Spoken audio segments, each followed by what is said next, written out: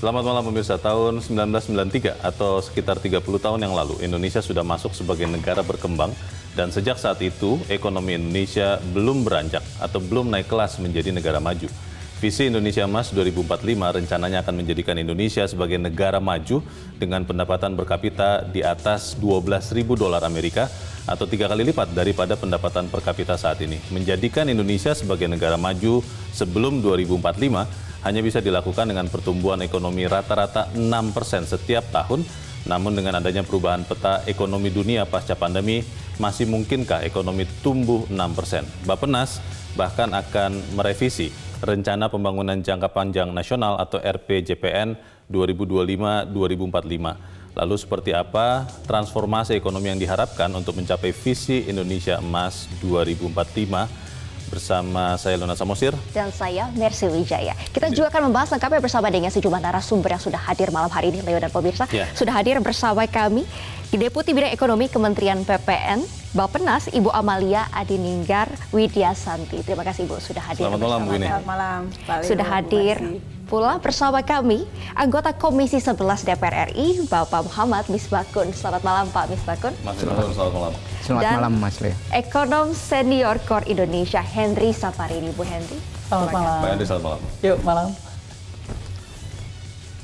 Inilah Economic Challenges selengkapnya. Kami akan membahas mengenai sandera kondisi ekonomi.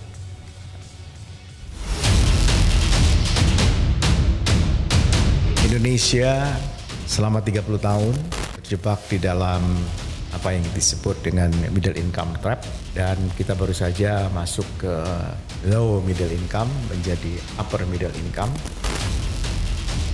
Kita harapkan di 2045 GDP kita, PDB kita akan berada di angka perkiraan saya 9 sampai 11 triliun US dollar dan income per kapita kita kalau kita konsisten income per kapita kita berada di angka 21 sampai 29 ribu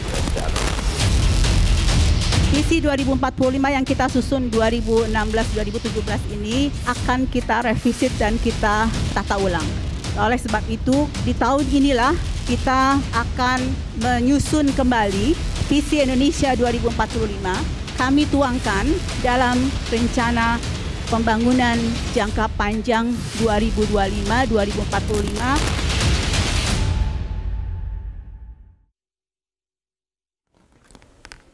Leo dan yeah. pemirsa, pertumbuhan ekonomi Indonesia mencapai 5,3 persen di tahun 2023 kemarin. Hmm. Namun pertumbuhan ini dianggap masih belum mencapai potensialnya atau masih berada di bawah potensialnya oleh Menteri PPN Bapenas hmm. Soeharto Mono Arfa. Ini adalah pernyataan dari Menteri PPN Bapenas Soeharto Mono Arfa mengatakan kita itu tumbuhnya masih di bawah potensial Leo dan pemirsa. Potensi pertumbuhan yeah. ekonomi kita lumayan bagus sebenarnya, tapi selama ini masih bergerak di bawah. Nah, secara historis kalau kita lihat pertumbuhan ekonomi selama 11 tahun terakhir Leo dan pemirsa, ini pertumbuhannya sempat mencapai 6,5 persen di tahun 2011. Hmm. Namun semenjak itu turun ke 4,88 persen, setelah itu berada di kisaran 5% sampai anjlok ke 2 persen ketika ada pandemi COVID-19 yeah. atau pertumbuhannya ini susut 2 persen. Yeah. Barulah terjadi pemulihan di tahun 2021 dan 2022 mencapai 5,3 persen. Dan kontribusi dari belanja rumah tangga atau konsumsi rumah tangga masih paling besar terhadap ekonomi kita 51,8 persen. Hmm. PMTB atau investasi fisik ini juga kontribusinya hampir 30 persen. Ekspor juga ini kontribusinya hampir 25 persen dan tumbuhnya signifikan mencapai 16,28 persen. Yeah. Selain itu impor kita juga tumbuh signifikan, Leo dan pemirsa 14,75 persen.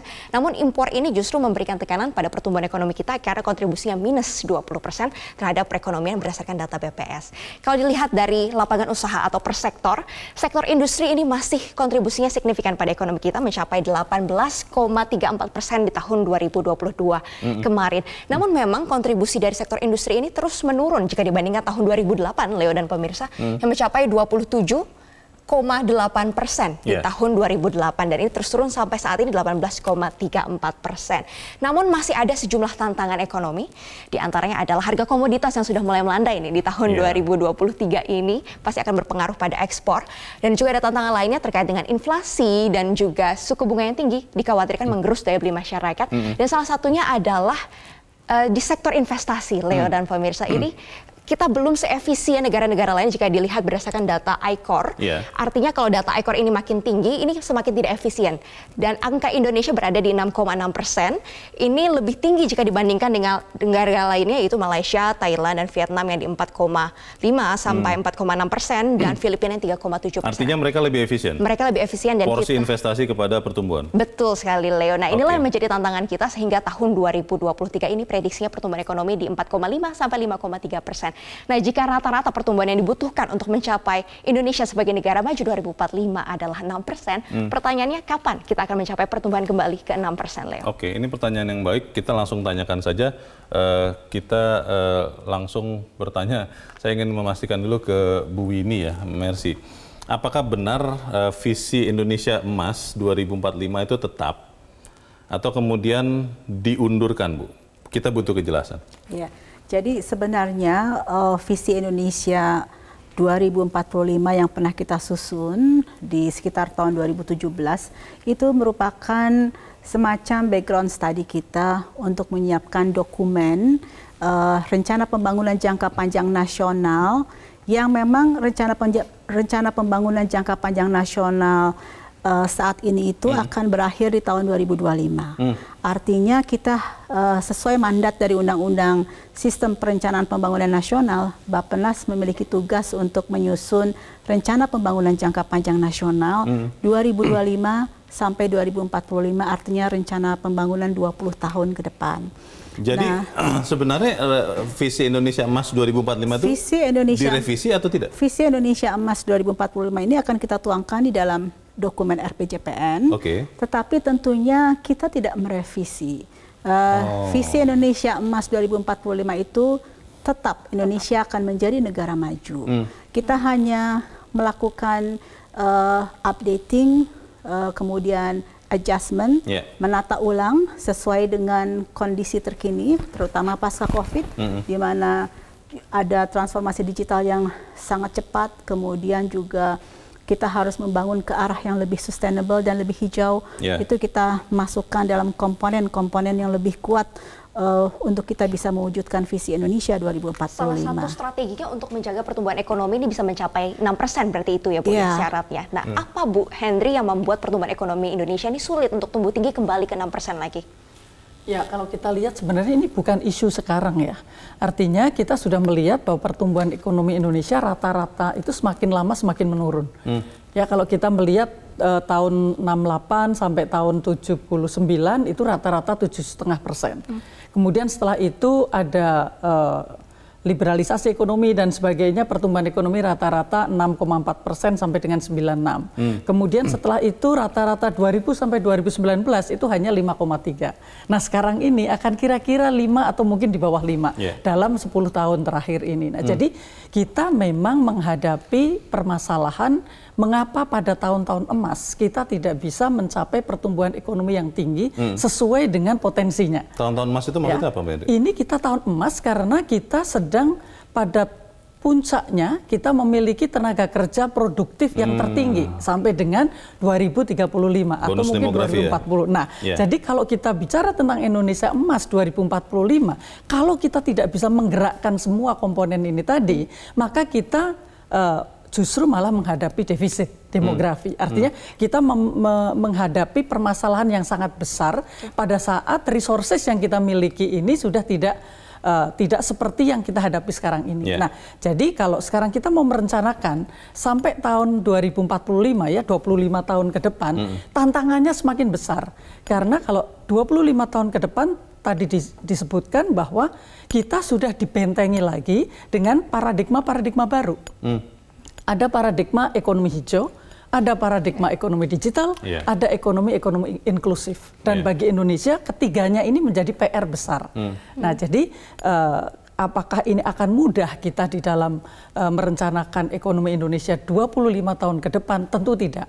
Karena kita tadi di awal juga sudah diskusi tentang eh, apa namanya middle middle trap ya Middle income trap. middle income trap Iya. kita. Kalau kita melihat data di eh, yang ada, maka kalau kita lihat negara-negara lain seperti Jepang hanya butuh 9 tahun untuk menjadi negara maju. Oke. Kalau kita lihat Korea Selatan hanya tujuh tahun, tapi ada negara-negara lain seperti Argentina butuh 40 tahun.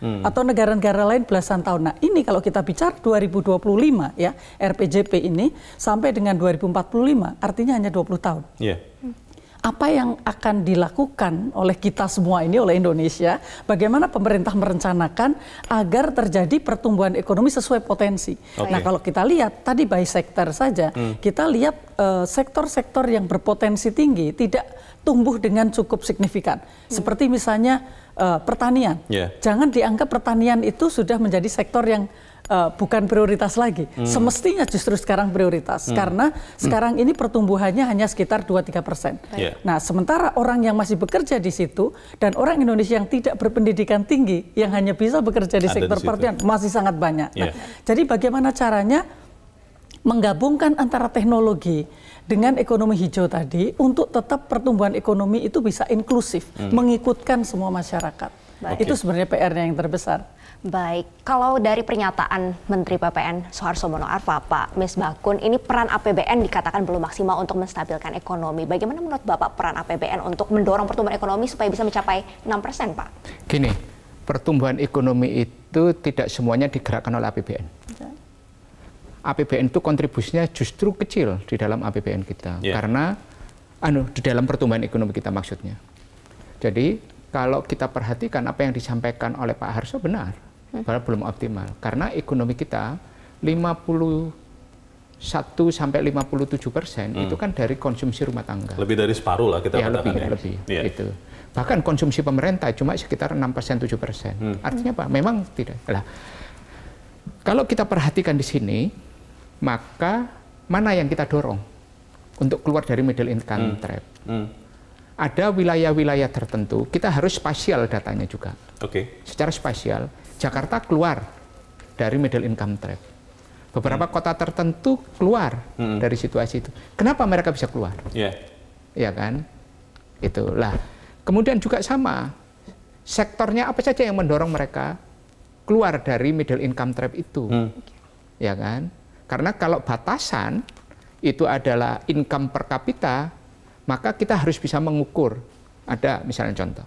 Lah, ini kalau kita ingin semuanya itu seluruh Indonesia dalam seperti itu, kalau menurut saya tadi yang disampaikan oleh Bu Deputi,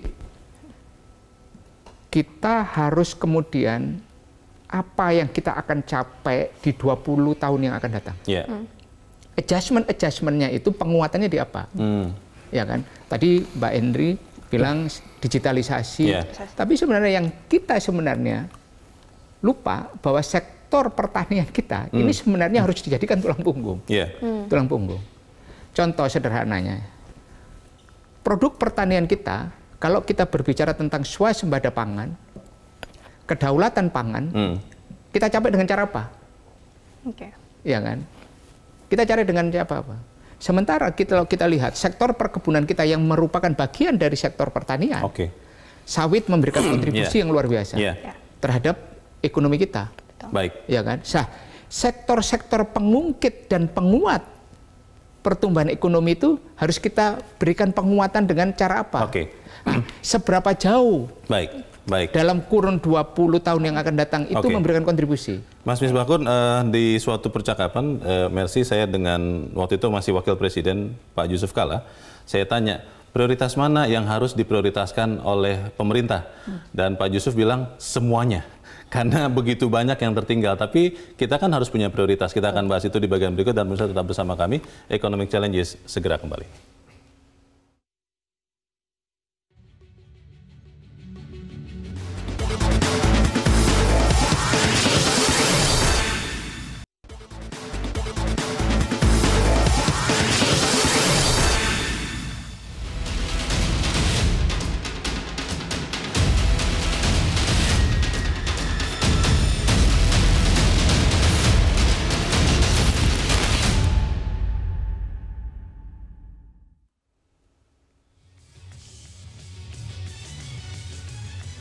Pemirsa untuk menjadi negara maju pendapatan per kapita rata-ratanya perlu 10 sampai 12 ribu dolar hmm. ini per tahun atau hmm. sekitar 150 sampai 180 juta pendapatan masyarakat ya rata-rata Leo. Nah, yeah. ini bagaimana strategi dari Bappenas Bu untuk mencapai pendapatan per kapita tersebut dan menjadi negara maju? Prioritas yang akan dibangun ini seperti apa, Bu? Uh, mungkin pertama-tama juga untuk menjadi negara maju di tahun 2045 tentunya threshold dari negara maju akan berubah. Hmm. Tidak lagi menjadi 12. Sekarang saja sudah sekitar 12.700.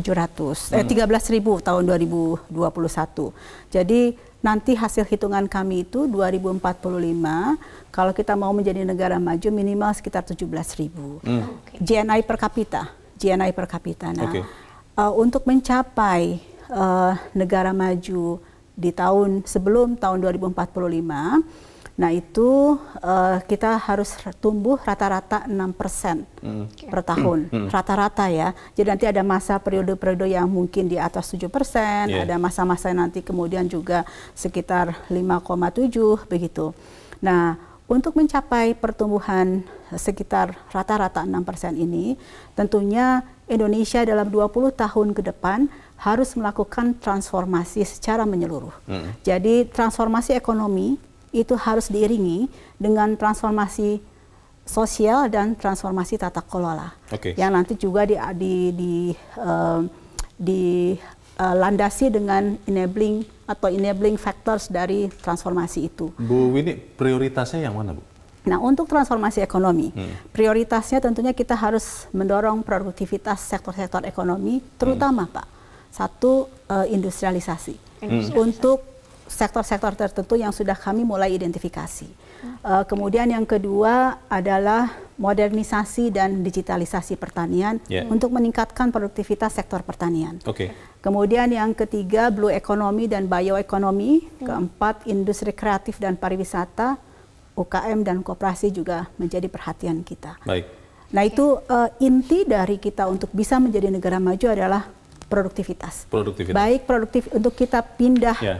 Jadi produktivitas itu adalah kita bisa pindah okay. dari sektor yang uh, produktivitas rendah kepada sektor yang berproduktivitas tinggi. Baik. Tapi juga kita bisa meningkatkan produktivitas di dalam sektor okay. itu.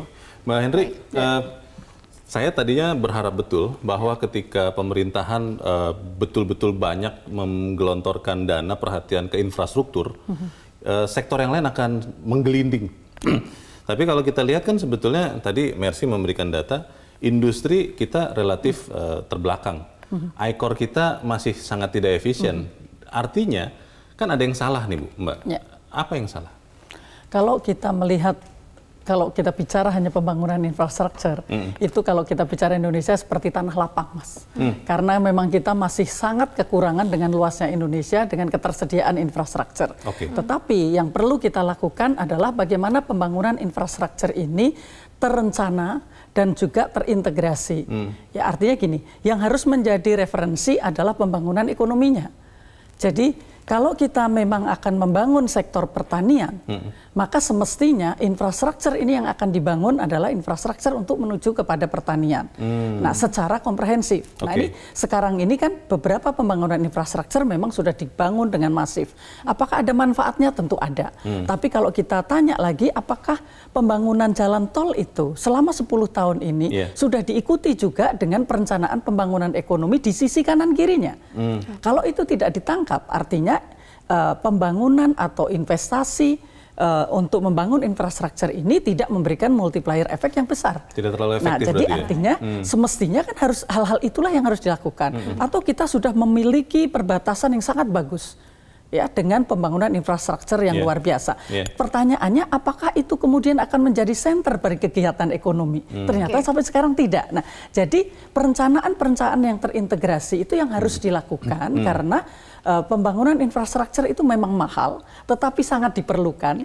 Hanya kita harus tahu yang mana yang harus kita pilih, hmm. termasuk infrastruktur tentang uh, transportasi. Yeah. Transportasi kita dengan KL yang berbeda-beda. Yeah. Karena nanti kalau ada transportasi laut atau transportasi udara sudah membangun bandara itu di banyak kabupaten, hmm. apa gunanya membangun jalan uh, eh, yeah. darat lagi? Nah, yeah. jadi ini harus Baik. terintegrasi sehingga betul-betul uh, spending pemerintah APBN tadi yang jumlahnya sangat kecil dibandingkan dengan uh, eh, GDP kita, itu kemudian akan menjadi uh, apa namanya ya uh, penghela atau okay. memberikan guidance bagi pemerintah ya? swasta. Ya. Yeah. Pak Misbakun, kalau selama Presiden Joko Widodo menjabat, ini kan fokusnya pembangunan infrastruktur. Ke depannya nih, harus sektor-sektor apa nih supaya tadi seperti kata Bu Hendri Sapari ini, ini bisa terintegrasi, ada perencanaan untuk pembangunan ekonomi selain uh, setelah adanya infrastruktur tersebut. Bagaimana menurut Bapak? Gini, hmm. saya lebih memfokuskan bahwa penguatan pertumbuhan PDB Indonesia itu secara spasial tadi yang saya ingin meneruskan.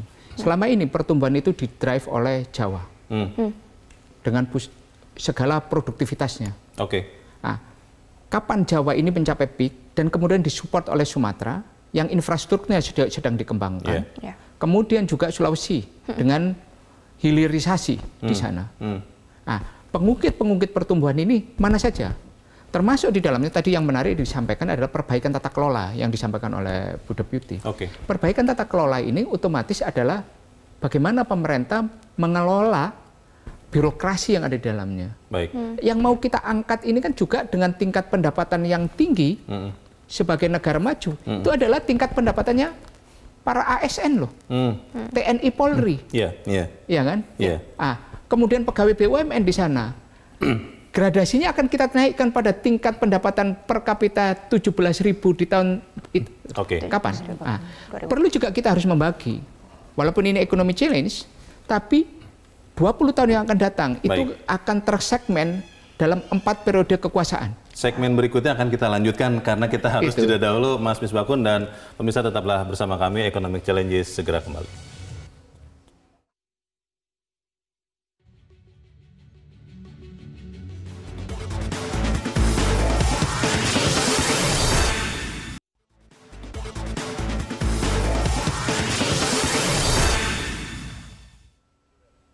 Pemirsa untuk menjadi negara maju di tahun 2045, Indonesia membutuhkan pertumbuhan ekonomi 6% setiap tahunnya dan tidak diiringi oleh peningkatan emisi gas rumah kaca dan ketimpangan. Saat ini Bappenas, uh, Perencanaan Pembangunan Nasional ini sedang menyesuaikan ulang, mengatur ulang strategi untuk bisa mencapai target tersebut di tahun 2045. Di antaranya adalah dengan transformasi, mendorong produktivitas masyarakat dengan target kontribusi sektor manufaktur, kontribusinya 26,3 persen pada perekonomian tahun 2044 dari posisi saat ini di 18,3 persen. Target kontribusi sektor pertanian turun menjadi 7 persen dari posisi tahun 2022 di 12,4 persen karena harapannya ini bisa diolah untuk bernilai tambah. Dan kalau kita lihat ada beberapa syarat sebenarnya untuk menjadi negara maju. Berdasarkan versi dari Menteri PPN Kepala Bappenas Suharto Mono Arfa ini butuh pertumbuhan ekonomi rata-rata 5,7 persen per tahun dengan pertumbuhan PDB per kapita 5 persen per tahun. Kalau dari versi Menkyu Sri Mulyani Indrawati tahun 2019 lalu yang mengatakan perlu infrastruktur yang layak untuk mendukung mobilitas dan pembangunan serta penguatan sumber daya manusia dan inovasi serta teknologi untuk menjawab tantangan industri. Dan ada beberapa syarat lainnya di antaranya perbaikan birokrasi pemerintah, kualitas layanan dan efisiensi proses bisnis, pengelolaan tata ruang wilayah yang baik dan terintegrasi sistem serta APBN yang sehat. Namun pertanyaannya, Leo dan pemirsa yang tadi juga dibahas di dalam segmen hmm. sebelumnya oleh Pak Misbah Kun, bagaimana memastikan strategi ini bisa berkelanjutan karena masih akan ada periode-periode pemerintahan selanjutnya. Yeah. Jadi langsung saja Pak Misbah Kun, bagaimana menurut Anda untuk menjaga ini bisa berkesinambungan? Jadi sama? perlu pemimpin yang mempunyai visi mewujudkan Indonesia emas dalam setiap periode kekuasaan yang ada. Kalau 20 tahun ke depan berarti akan ada kalau ada presidennya dua periode, ya kan akan ada dua masa ya, pemerintahan. Yeah, ada dua orang nanti. Ada dua orang. Hmm. Nah, bagaimana mengimplementasikan visi Indonesia 2045, 2045 Indonesia emas ini yeah. dalam visi misi pemerintahan mereka yang pendek, ya kan. Kemudian tereksekusi dengan baik. Hmm. Ini adalah PR paling besar saya sampai sekarang belum ketemu para calon presiden ini membicarakan Indonesia emas. Kan belum ada calon presiden. Ya, belum memang. Bakal calon. Bakal calon, yeah. belum bakal calon. Lah, kemudian tadi yang menarik dari yang disampaikan oleh visi Indonesia 45 hmm. adalah kontribusi sektor manufaktur. Hmm. Hampir 27 persen. Itu artinya apa? Bahwa ekonomi kita didorong oleh pertambahan nilai. Hmm. Hmm. Resource base ekonomi sekarang, ya kan, hmm. dengan kekuatan sumber daya alam yang dimiliki oleh Indonesia, ya. baik di sektor perkebunan, kemudian sektor pertambangan, dan sektor-sektor yang lain, perikanan termasuk, okay. Presiden sudah mulai membicarakan yeah. bagaimana kemudian hilirisasi. Apakah hilirisasi itu cukup kemudian kepada smelter yang hanya mempurifikasi hmm. atau kemudian pada tindak lanjut berikutnya? Baik. Sektor pertanian yang memproduksi sektor pertanian menjadi produk pangan. Hmm. Ya kan? Yeah. Untuk dikonsumsi yang edible. Nah, ini adalah tantangan paling besar. Nah, bagaimana kemudian 27 persen itu bisa diwujudkan di saat pada saat yang sama okay. kontribusi manufaktur kita kecenderungannya mengalami penurunan. Baik. Nah, digeser di wilayah mana? Yeah. Ya. Wilayah Saya, Sumatera, baik. wilayah Jawa, atau kita sebarkan Saya, sesuai dengan fokus baik. resource base tersebut. Maunya bertanya terus ke Mas Misbakun, tapi supaya Mas Misbakun nyaman, saya akan bertanya soal industri itu ke Mbak Henry, ya. karena uh, kalau yang kita pelajari, ya. Mbak Henry, semua negara maju pasti ya. industrinya kuat. Betul. Indonesia industrinya seperti apa sekarang? Ya. Jadi kalau kita melihat semua negara pada era emas seperti Indonesia saat ini, hmm. maka kontribusi atau share manufaktur terhadap PDB mereka itu jauh di atas 30 persen. Ada hmm. yang bahkan 40 persen. Oh. Indonesia yang tadinya 26 persen, hmm. sekarang 29 persen bahkan yeah. tahun 90 akhir. Hmm. Sekarang ini hanya 19 persen, malah 18 persen. Wow. Artinya ini kita akan menuju kepada Indonesia emas, hmm. tetapi sektor yang bisa menciptakan lapangan kerja, bisa menciptakan nilai tambah justru ke bawah. Hmm. Ini PR yang sangat besar. Nah pertanyaannya, apa yang sudah kita lakukan dari revitalisasi industri ini? Yeah. Karena uh, waktu itu pada pertemuan dengan Presiden saya sudah sampaikan, Bapak sudah melakukan banyak hilirisasi di sektor tambang. Mm -hmm. Tapi sektor tambang itu adalah karakteristiknya memang padat teknologi, padat modal. Mm. Dan kita harapkan adalah ada ada percepatan di dalam hilirisasinya dan percepat percepatan hilirisasi di sektor lain. Hmm. Kalau tadi disebutkan oleh Mas Misbahun tadi, yeah. misalnya di sektor pertanian, hmm. hilirisasi sektor pertanian secara luas. Jadi ada perikanan dan kemudian peternakan dan sebagainya. Yeah. Indonesia akan menjadi pusat penghasil pangan dunia. Hmm. Nah, jadi ini yang menurut saya karena kita sebenarnya punya karakteristik itu. Hmm. Okay. Dan ini akan bisa menciptakan lapangan pekerjaan yang masif. Okay. Nah, jadi saya rasa Eh, sektor-sektor uh, itulah yang mestinya menjadi prioritas di dalam kita lima tahun. Okay. Dan kan kemudian sampai kepada 20 tahun. Ya. Jadi yeah. kalau intinya adalah pertumbuhan ekonomi yang inklusif, mau ditambah hijau, mau ditambah digital, mau ditambah apa pun, hmm. itu intinya adalah bagaimana kita melihat struktur masyarakat kita atau struktur sosial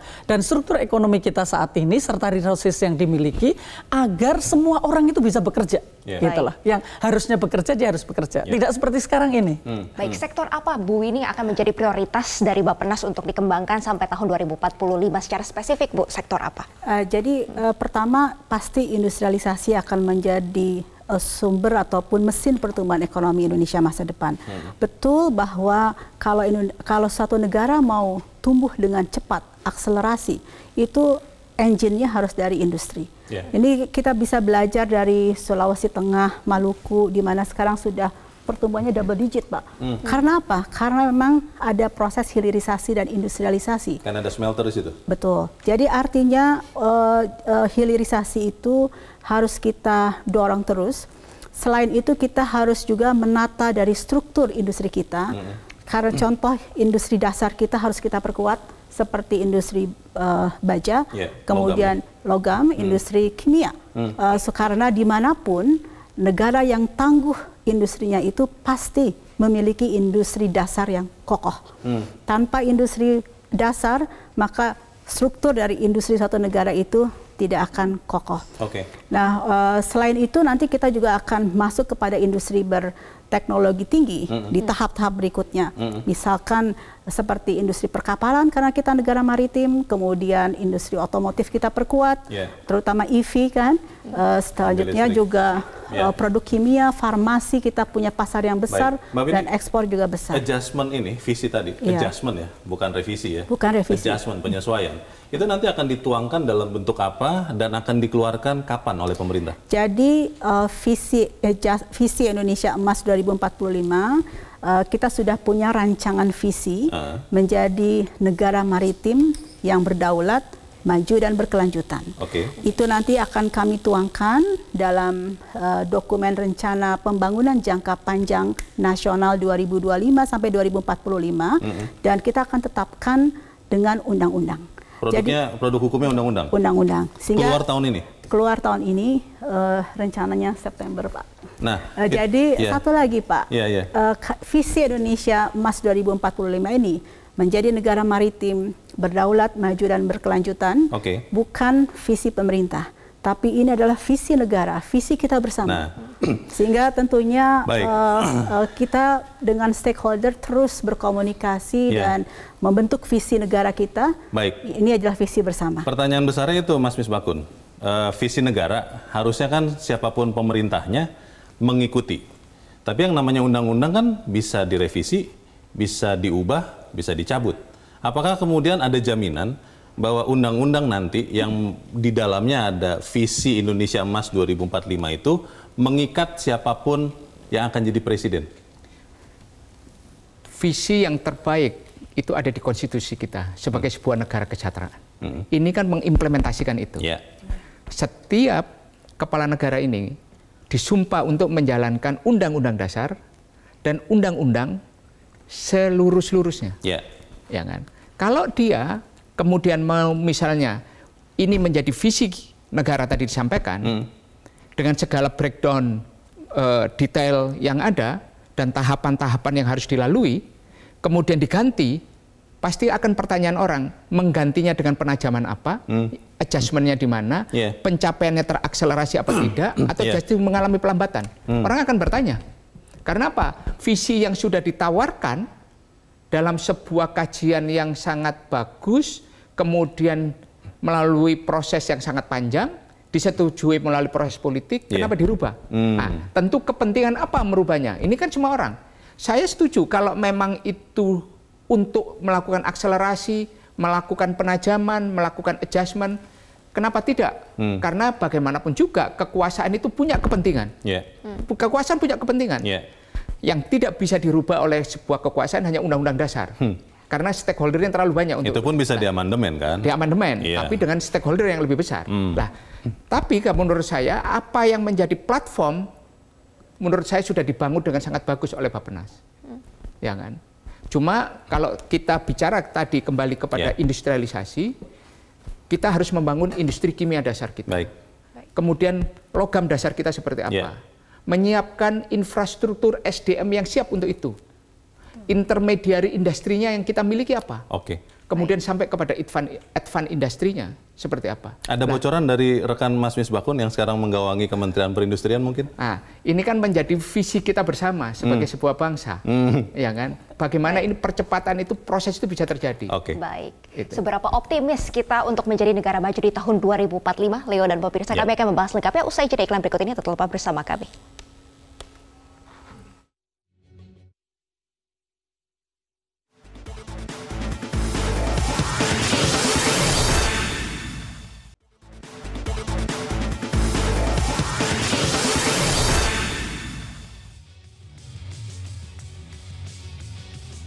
Terima kasih Anda masih bersama kami. Pemirsa kita ada di bagian akhir diskusi kita malam ini. Mbak Henry, um, memang bicara 20 tahun itu banyak sekali asumsi. Kalau orang di ekonomi kan gampang bilangnya, ceteris paribus, ceteris paribus. Tapi kan kita tidak bisa mengatakan begitu. Untuk pemerintahan berikut, ya karena pemerintahan yang sekarang tinggal satu tahun, apa yang harus menjadi prioritas supaya setidak-tidaknya kita bisa bertahan di pertumbuhan ekonomi 6% per tahun itu? Ya kita mesti menggerakkan memang eh, sektor-sektor uh, yang masih sangat mungkin bisa bergerak tumbuh lebih tinggi dengan menciptakan lapangan kerja yang tinggi dan nilai tambah tinggi. Hmm. Kalau kita sudah lakukan di periode Pak Jokowi ini di uh, tadi contohnya adalah di tambang, maka ada sektor-sektor lain yang bisa kita lakukan juga dengan nilai tambah yang tinggi dan lapangan pekerjaan yang tinggi. Hmm. Salah satu contohnya adalah uh, pertanian. Karena harus kita ingat bahwa kita bicara tentang Indonesia emas, hmm. kita tidak hanya bicara tentang pertumbuhan ekonomi, tidak hanya bicara tentang pendapatan per kapita, tetapi kita juga bicara tentang kemandirian kita Hmm. Bahkan pada saat kita memasukkan dalam perencanaan dua, uh, jangka panjang, kita bicara tentang uh, ekonomi hijau, kita pun harus tahu dalam 20 tahun itu bagaimana kita untuk mengurangi emisi karbon. Yeah. Hijau yang seperti apa yang cocok dengan karakteristik kita. Mm. Ya, kita harus memilih semestinya karena kita sebagian besar itu masih di pertanian. Adakah cara-cara untuk mengurangi emisi karbon dari sektor ini? Mm. Jadi kita menciptakan lapangan kerja, menciptakan nilai tambah tanpa harus menciptakan uh, karbon yang tinggi. Hmm. Nah, tapi kalau kemudian kita salah memilih sektor, ya kita akhirnya tidak siap dengan yang ada di dalam. Yang terjadi adalah ketergantungan terhadap teknologi dari luar. Yeah. Kita menjadi hijau, kita hmm. tumbuh menjadi lebih tinggi, tetapi kita tidak mandiri hmm. karena kita sebenarnya belum siap menuju itu. Nah, menjadi tugas yang berat bagi bagi uh, Bapenas mestinya adalah bagaimana agar kita tetap hijau tetapi sesuai dengan karakteristik kita. Hmm. Jangan kita kemudian tergantung lagi pada teknologi luar. Hmm. Nah, jadi ini mungkin hal-hal yang juga harus masuk di dalam uh, eh, RPJP tadi. Yeah. Ya, tidak hanya mengejar pertumbuhan. Kalau mengejar pertumbuhan siapa pun suruh masuk dimudahkan. Mm. Ya, kita tidak peduli dengan tadi uh, kedaulatan pangan misalnya ya, uh, tentang krisis pangan dan uh, krisis energi di global. Kita, juga. Nah, ini semua padahal PR-PR kita. Yeah. Mm. Nah, sekarang kalau poin-poin besar tadi yang masuk di dalam RPJP semestinya itu akan menjadi poin-poin besar mm. yang harus diikuti oleh siapa pun presidennya. 20 Baik. tahun cukup tidak? 20 20 tahun kalau kita melihat tadi contohnya untuk menjadi Baik. negara maju, ya uh, sekali ber Korea saja yeah. dia butuh uh, waktu lebih dari tujuh tahun, okay. gitu kan? Okay. Nah jadi Harusnya kalau Indonesia bisa. kita hmm. tahulah 20 Baik. tahun ke belakang bagaimana perencanaan yeah. pembangunan kita, yeah. apakah kita mengikuti mengikutinya okay. atau kita mengimplementasikannya kita Baik. tahu. Jadi apakah kita cukup optimis kalau seperti itu? Rasanya kok kita memang harus bekerja lebih keras lagi. Baik. Harus ada terobosan-terobosan ya. artinya di waktu-waktu mendatang ini terobosan seperti apa Pak Misbakun yang bisa dilakukan untuk mencapai Indonesia Terobosan yang paling utama adalah meningkatkan kualitas pertumbuhan. Okay. Pertumbuhan 5,76 persen itu adalah pertumbuhan yang berkualitas. Hmm. Hmm. Artinya apa? Pertumbuhan itu adalah memberikan nilai tambah terhadap sumber daya yang kita miliki. Okay. Ya kemudian memberikan penyerapan tenaga kerja yang tinggi sehingga apa? Dua hal ekonomi secara agregat kita dapatkan, yeah. pendapatan per kapita masyarakat juga kita naikkan hmm. di situ.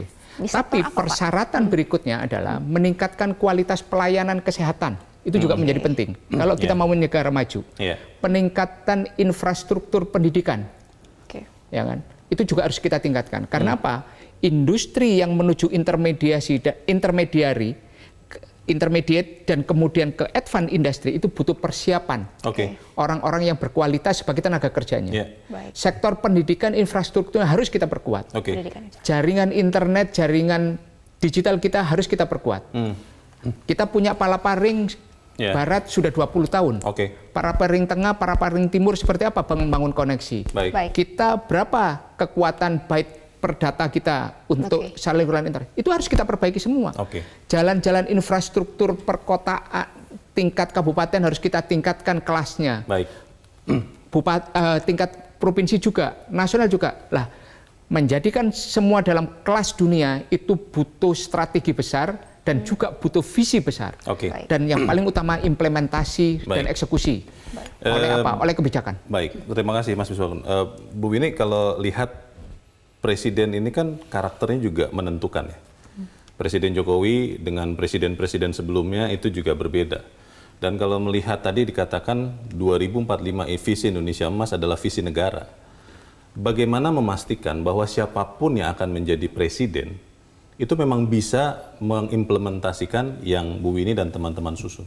Ya, karena dalam RPJPNA itu nanti kita akan menuangkan tahapan pembangunan yang dibagi menjadi empat tahap atau uh, satu tahapnya adalah lima tahunan sesuai hmm. dengan periode presiden. Okay. Jadi tahap pertama kita akan menajamkan atau memfokuskan pada perkuatan fondasi transformasi. Hmm. Tahap kedua harus masuk pada akselerasi dari transformasi. Hmm. Tahap ketiga masuk kepada Indonesia harus ekspansi global. Okay. Dan yang tahap keempat itu adalah perwujudan Indonesia emas. Hmm. Nah, tentunya Pak, dalam pembangunan ke depan kata kuncinya adalah peningkatan kualitas di semua aspek dan pemerataan. Okay. Uh, dan kualitasnya di mana? Pertama, menyiapkan lapangan kerja yang berkualitas. Hmm. Artinya kita tidak hanya sekedar menyiapkan lapangan kerja, tetapi kita harus betul-betul menciptakan middle class jobs, Pak. Hmm. Karena middle class jobs inilah uh, apa pekerjaan yang kelas menengah inilah yang bisa mengakselerasi peningkatan pendapatan per kapita. Jadi misalnya ini saya mau ambil contoh ya. saja, ojek online gitu, itu tidak boleh lebih banyak lagi daripada ya, sekarang. Ya, kita begitu, harus lebih banyak middle class jobs yang kita ciptakan, hmm. Pak. Karena uh, potensi middle class jobs di Indonesia itu masih besar, Pak. Yeah. Uh, kita yeah. masih besar. Yang kedua, tadi yang Pak Misbahkun sampaikan, kualitas pendidikan, hmm. kualitas kesehatan, tetapi bukan untuk sebagian orang, untuk semua. Hmm. Jadi kualitas pendidikan, kualitas kesehatan untuk semua, dan juga kita harus bisa menciptakan manusia Indonesia sebagai modal yeah. uh, manusia untuk mencapai Indonesia emas. Yeah. SDM berkualitas salah satunya ya Bu ya, ya tadi semuanya dilakukan. SDM, SDM unggul. unggul. Jadi kita harus bisa menciptakan SDM unggul untuk Indonesia emas. Anggaran kan Mas Wisbakun sudah 20% setiap tahun untuk pendidikan itu sebenarnya sudah efektif tidak sih untuk menaikkan kualitas manusia Indonesia? Ini proses panjang meningkatkan kualitas sumber daya manusia. Hmm. Afirmasi anggaran 20 persen, walaupun realisasinya kadang-kadang tipis-tipis di bawah itu, tapi ini adalah sebuah upaya yang serius. Tetapi kita juga kembali, apakah infrastruktur gedung yang bagus, hmm. kampus yang bagus, sekolah yang bagus, tapi kemudian tidak diisi oleh pertama uh, kurikulum yang bagus, yeah. terus arah sistem pendidikannya, apakah kita menuju kepada vokasi yang memberikan soft skill yeah. atau kemudian yang memberikan ilmu pengetahuan okay. secara umum. Nah ini kan harus dipilih. Hmm.